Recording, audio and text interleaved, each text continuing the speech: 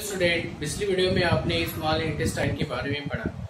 तो आज हम लोग पढ़ेंगे लार्ज इंटेस्टाइन लार्ज इंटेस्टाइन जो होता है हमारा, आपको पता ही है कि कितना मीटर लॉन्ग होता है। तो ये हमारा जो होगा one point five metre long होता है। कि नोडिलेटेड आपको पता है कि नोडिलेटेड क्या होते हैं हमारे? ट्यूब लाइक स्ट्रक्चर होते हैं। नोड्यूल्स मतलब होगा यहाँ पे बीच बीच में क्या होंगे? इनमें गांठें प्रेजेंट होती है। गांठ प्रेजेंट होंगी।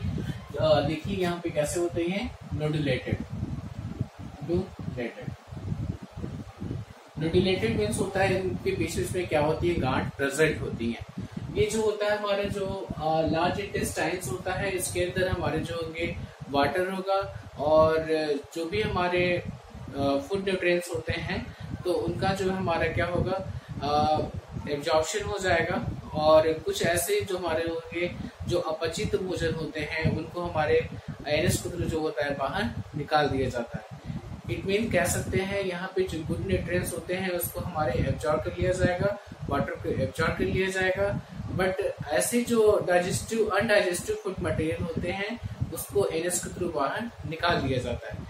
एक्चुअली जो हमारा यहाँ पे आपको बताया जाएगा जो हमारा लार्ज इंडेस्टाइन होता है लार्ज इंटेस्टाइन जो होगा, इसके थ्री पार्ट्स होते हैं। कौन कौन से पार्ट्स होंगे? तो फ़र्स्ट होगा हमारा सीकम सेकेंड जो होता है क्लोन और थर्ड जो होता है हमारा रेक्टम फ़र्स्ट की बात किया जाए सीकम सीकम जो होता है, शाकाहारी प्राणियों में वेल डेवलप होता है, और ह्यूमन बॉडीज के केस में क्या होता है? हमारा वर्जेसियस पार्ट्स होता है ऑसिसियन के रूप में जाना जाता है, जिसका कोई विशेष कार्य नहीं होता है.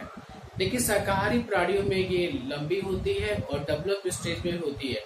क्योंकि इसमें क्या होगा? सेलुलोज का पाचन होता है। क्योंकि सेलुलोज का पाचन जो होगा हमारा बैक्टीरिया के थ्रू होता है। कुछ बैक्टीरिया के थ्रू हमारा सेलुलोज का पाचन होता है।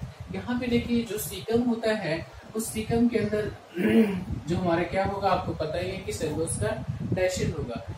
यहाँ पे दिख रहा है सीकम के पास जहाँ पे स्मॉल इंटेस्टाइन और लार्ज इंटेस्टाइन मिलते हैं, उस पॉइंट को हम लोग क्या बोलते हैं? इलियोसिकल वॉल क्या बोलेंगे? इलियोसिकल वॉल कहते हैं। यहाँ लिखा है इलियोसिकल वॉल ठीक है? अब ये जो होता है हमारा, इलियोसिकल जो वॉल है, यहाँ पे कहाँ पे खुलता है? तो ये हमारा सीकम के अंदर खुलता है। यही सीकम के पास ही जो होगा हमारा as a finger like structure होगा। कैसा होगा?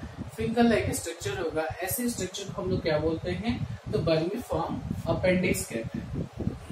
क्या बोलेंगे? बर्मी फॉर्म अपेंडिक्स।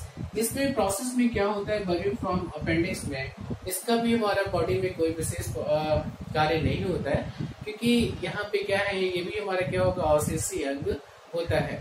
लेकिन जैसे फ़ूड न्यूट्रिएंट्स इसके अंदर आके फंस जाते हैं तो वो सड़ने लगते हैं, जिससे बुखार होगा, भूख नहीं लगना पेट में असहनी पीड़ा होना, ये सब आपके प्रोसेस होंगे। ये इसके सिम्टम्स हो जाएँगे। और इस डिज़ीज़ में क्या होता है? इस डिज़ीज़ को हम लोग क्या बोलते हैं?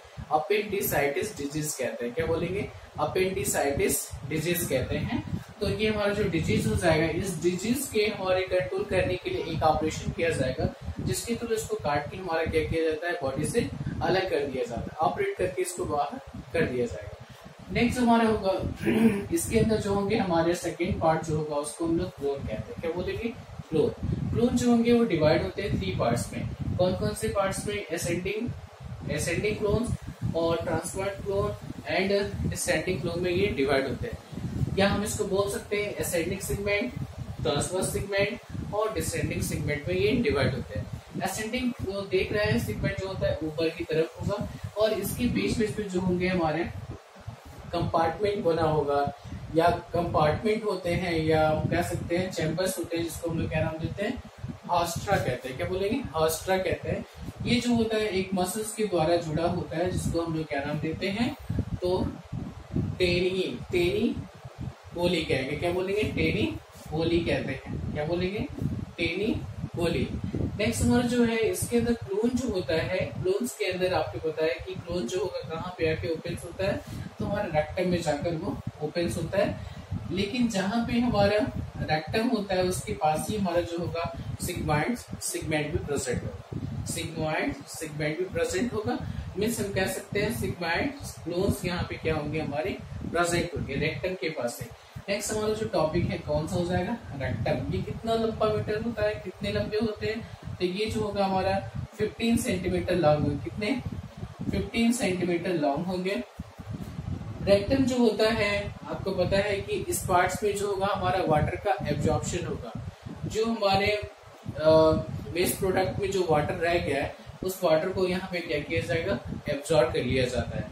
और आपको पता है कि जो हमारा रेक्टम होता है, उस रेक्टम के पास ही जो होंगे हमारे एनस कॉलम प्रेजेंट होंगे। एनम एनल कॉलम प्रेजेंट होते हैं, जिनके फूल जाने से हमारा क्या होता है?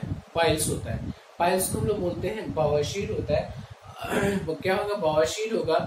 यही हमारे जो होंगे, ये फटते हैं, फुल जाने के बाद ये फटते हैं तो इससे ब्लड का सिक्रेशन हो जाएगा जिससे हम लोग खूनी बवासीर कहते हैं। यहाँ पे देखिए, जो एनस होता है एनस थ्रू जो होंगे हमारे अपशिष्ट पदार्थ होंगे, या जो अपचित जो पदार्थ होते हैं, उसको शरीर से बाहर निकाला जाता है। अनडाइजेस्टेड फ़ूड मटेरियल को इसके थ्रू शरीर से बाहर निकाला जाता है। नेक्स्ट हमारा जो टॉपिक आता है, वो हमारा कौन सा टॉपिक है? तो हम लोग पढ़ेंगे डाइजेस्टिव ग्लैंड